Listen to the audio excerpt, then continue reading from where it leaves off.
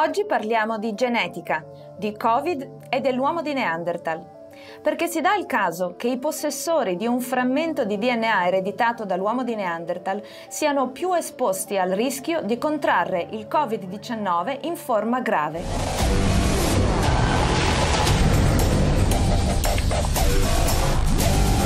Do il benvenuto a Massimo Delle Donne, professore ordinario di genetica all'Università di Verona. Buongiorno Massimo. Buongiorno a lei. Quando ha iniziato a occuparsi di Covid? Ho iniziato a occuparmi di Covid fin da marzo dell'anno scorso, quando siamo entrati nel pieno della pandemia, quando quindi abbiamo cercato come università di dare una mano al Servizio Sanitario Nazionale per cercare di capire quanto fosse eh, pericoloso questo virus, come agisse e per cercare di capire anche se ci fossero delle predisposizioni genetiche nelle persone che eh, appunto predisponevano a una forma più o meno grave della malattia. E avete iniziato a lavorare al Covid perché avete ricevuto in qualche modo un incarico o perché spontaneamente voi come altri scienziati in giro per il mondo diciamo si sono offerti di appunto dare un contributo? No, allora diciamo che questo paese ha fatto una scelta secondo me difficile da accettare, che è stata quella di uh, mandare in smart working anche gli universitari, per cui noi di fatto abbiamo dovuto ridurre drasticamente la nostra capacità di fare ricerca in laboratorio, perché smart working il laboratorio non lo si può fare, serve un laboratorio. E devo dire anche che non abbiamo mai ricevuto nessun finanziamento, nonostante appunto avessimo la volontà di fare qualcosa. Quindi l'abbiamo fatto di nostra spontanea iniziativa, abbiamo cominciato a sequenziare i primi tamponi per vedere che i virus erano già diversi un anno fa abbiamo poi cercato di mettere a punto dei sistemi che permettessero di sequenziare ancora meglio questo virus per arrivare alla fine anche a cercare di identificare se ci fossero delle predisposizioni genetiche che conferivano appunto la predisposizione a un Covid più o meno grave. Ecco, allora ci sono delle categorie che si sa sono più vulnerabili e più a rischio, che sono di solito gli anziani, persone con determinate patologie, però qui stiamo parlando di un fattore di rischio determinato dalla genetica. Avete dato una risposta a questa domanda? Avete individuato eh, questo fattore di rischio? Allora, devo dire noi no, perché appunto non siamo mai stati finanziati non capisco come mai questo Stato abbia deciso di finanziare così poco la ricerca nelle università e non solo la ricerca invece negli ospedali, ma c'è per fortuna, c'è stato un consorzio internazionale che si chiama Covid-19 HG che ha raccolto tutti i gruppi più importanti che al mondo hanno lavorato per cercare di scoprire se nel genoma di ciascuno di noi c'era o non c'era una porzione di DNA che eh, contribuiva a predisporre a questa malattia e questo consorzio ha lavorato eh, per un anno, un anno e mezzo, all'inizio eh, definendo delle ipotesi, facendo delle ipotesi, alcune delle quali poi col passare del tempo si sono rinforzate e altre invece che si sono indebolite. Ricorderete per esempio il fattore di rischio basato sul gruppo sanguigno.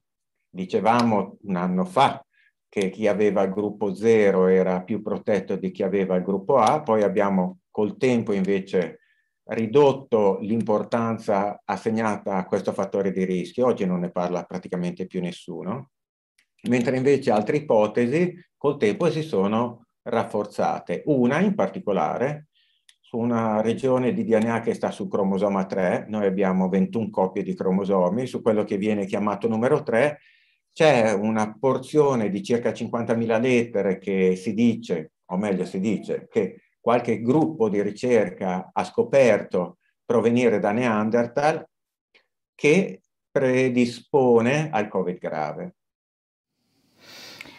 Ecco, questo è, è, è, sempre affascinante sentir parlare dei Neanderthal, perché per lungo tempo ci si è interrogati sulla loro estinzione. Poi ora la scienza penso sia un fatto assodato, no? ha confermato che sono stati in qualche modo assimilati nella nostra specie. Che cosa significa veramente? Innanzitutto chi li porta questi geni dei Neanderthal? Quante persone oggi? Allora, eh, tutti noi nel nostro genoma, nel nostro DNA, abbiamo un 2-3%, tutti noi europei, tutti noi euro, europei abbiamo un 2-3% di DNA che proviene da Neanderthal. Poi alcuni di noi invece hanno quella porzione che sta sul cromosoma 3, che è solo una parte di tutto quello che Neanderthal ci ha lasciato. E la, la porzione di europei che dovrebbe avere questo fattore genetico di rischio per il Covid grave sul cromosoma 3 in Europa dovrebbe essere intorno al 15% stimata. I nostri dati su coloro che si sono rivolti a Genartis per effettuare questo test e vedere se avevano o non avevano questa regione ci dice che poco più del 20% degli italiani ha questa, questo fattore di rischio sul cromosoma 3. Quindi diciamo che come italiana io non devo chiedermi chissà se ce li ho questi geni nel Neanderthal, ce li ho, però tutto dipende a quali porzioni e se tra quelle porzioni c'è magari questo fattore di rischio, in questo caso per il Covid. Esattamente. E come si fa a sapere, o meglio, cioè dopo aver individuato questa correlazione, o almeno aver corroborato con i dati questa ipotesi, che cosa avete fatto? Come, come ci aiuta no, questa informazione?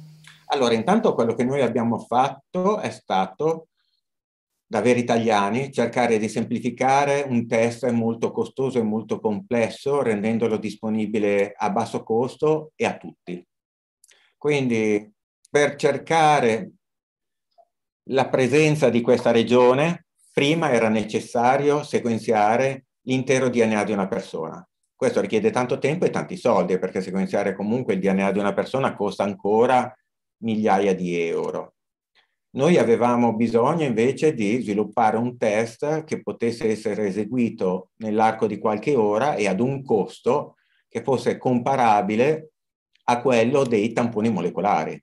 L'Italia ogni giorno esegue 200.000 tamponi almeno, quindi immaginate il costo che sostiene a questo punto poter avere la possibilità anche di eh, utilizzare un test analogo per vedere la presenza di un fattore di rischio come questo nella popolazione diciamo che non manifestava altre comorbidità, secondo noi era una cosa importante. Per cui abbiamo sviluppato un sistema che sfrutta la stessa tecnologia del tampone molecolare, solo che invece di andare a rilevare la presenza di SARS-CoV-2, il virus che conferisce la malattia Covid, andava a rilevare la presenza, va a rilevare la presenza di questo fattore di rischio che sta sul cromosoma 3.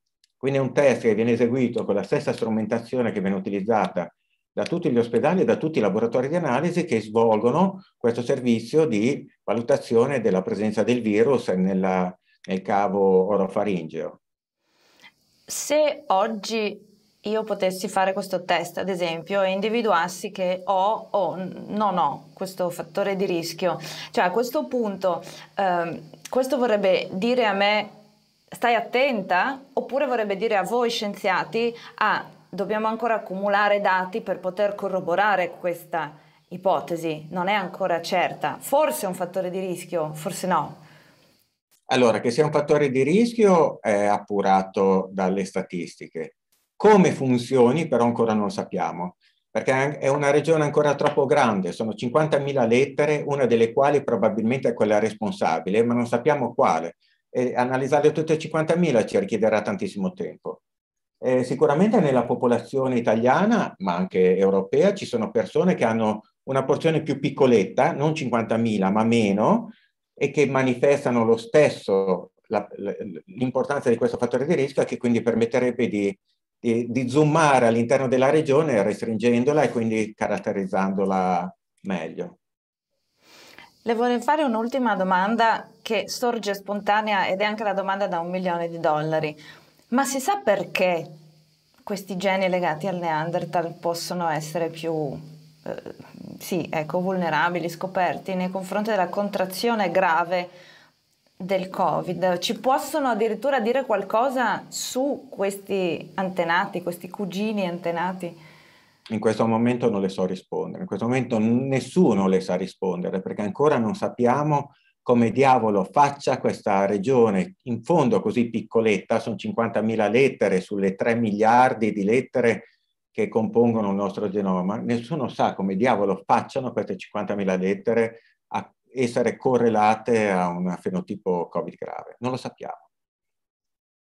All'inizio si è speculato che quindi Neanderthal sia scomparso proprio per questo, perché portavano... Beh, forse un po' esagerato che siano scomparsi per eh, un virus della forma del raffreddore, dell'influenza. La, la, cosa incredibile, eh beh, qualcuno dice che eh, eh, Neanderthal è scomparso perché praticamente è stato sterminato dall'Homo sapiens, ma non c'è nessuna prova. Noi non sappiamo perché Neanderthal è scomparso. Quindi questa è stata un'altra delle tante ipotesi portate, che probabilmente ha meno fondamento di tante altre, però chi lo sa. Io la vorrei ringraziare non solo per il suo tempo oggi, ma anche per la buona volontà dimostrata da lei come da tanti altri scienziati all'inizio della pandemia di rendersi utili e quindi di contribuire no, nella misura in cui ciascuno può all'interno del proprio lavoro. Spero di poterle parlare un'altra volta. Se c'è qualcos'altro che vuole aggiungere, ne ha modo. Direi che va bene così per oggi. Grazie per il tempo che mi ha dedicato. Grazie, grazie mille a lei. Buongiorno.